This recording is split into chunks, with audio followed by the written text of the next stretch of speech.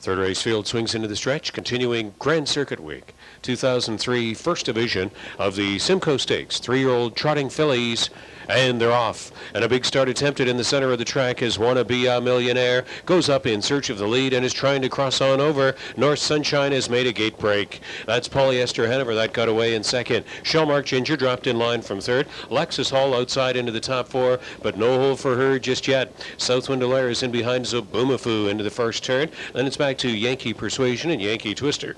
North Sunshine is the out trailer. They charge up to the quarter. Lexus Hall still out there chases Wanna be a millionaire in 29 seconds flat. Racing two lengths back is Polyester. Hanover in there from third. Shellmark Ginger attending from fourth. Zoboomafoo is fifth. Southwind Allaire, heavy favorite, has inherited fifth position as Polyester Hanover has made a second quarter break.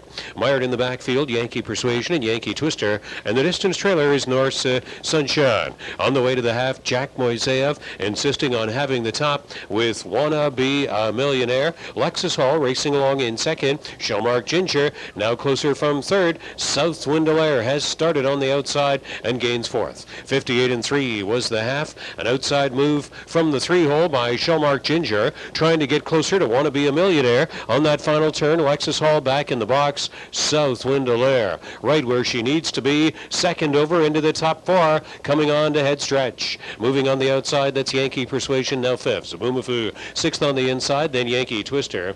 And the distance trailer after early breaks, North Sunshine in behind Polyester Hanover. At the top of the stretch, 128 three-quarter time, and cutting the mile has Wanna Be a Millionaire. Here comes Southwind Allaire out from second over, and she glides right up to the lead powerfully and at will under a perfect Chris Christoforou steer to drive away and win her Simcoe Stakes division. Southwind Allaire by a pair in the Simcoe uh, over Yankee Persuasion and Wanna Be a Millionaire. 156 and three.